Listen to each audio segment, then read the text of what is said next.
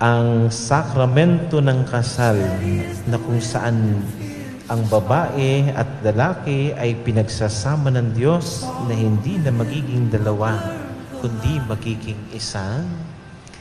Itong sakramento ng kasal ay maging lakas nawa ninyo.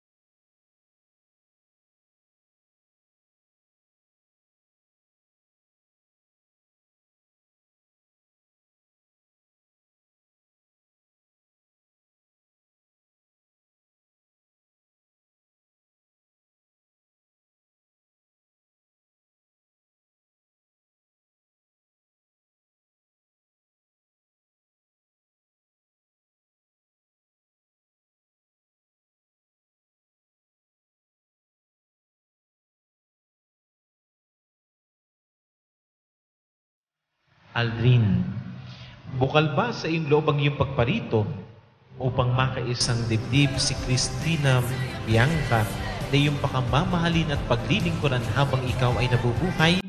Opo, Father.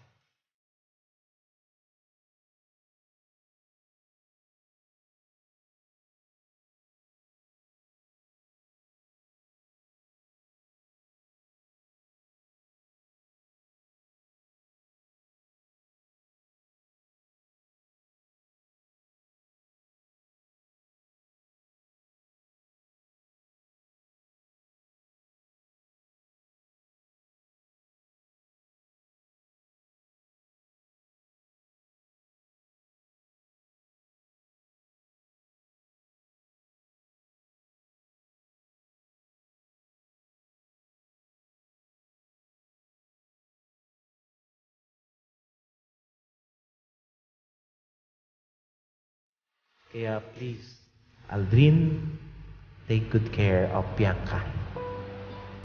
At ikaw rin naman, Bianca, please be careful with Aldrin. At dahil ang buhay pag-asawa ay mahabang paglalakbay bilang magkap